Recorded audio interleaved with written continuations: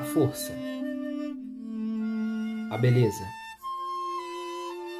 a sensualidade de um dos maiores clássicos da nossa literatura. Inspirada no romance de Jorge Amado, adaptada por Valcir Carrasco. Você não vai resistir a ela. Ah, como é mesmo seu nome? Gabriela. Gabriela.